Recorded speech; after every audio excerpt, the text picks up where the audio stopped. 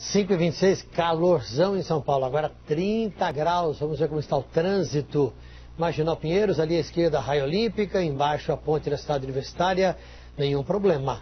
Avenida dos Bandeirantes, também os carros seguem sem dificuldades. Na Marginal Tietê, a gente tem lá, lá mais ao fundo a ponte do Limão, os carros parece que não enfrentam congestionamentos nesse trecho que a gente está mostrando, não. E veja só essa história, a polícia procurava três e encontrou num terreno em Guarulhos sete bancas de jornal roubadas. As três bancas tinham sido furtadas em dezembro na zona leste da capital. Dois guincheiros foram presos. Nós vamos dar todos os detalhes no SPTV Segura Edição, logo depois de Além do Tempo. Até lá!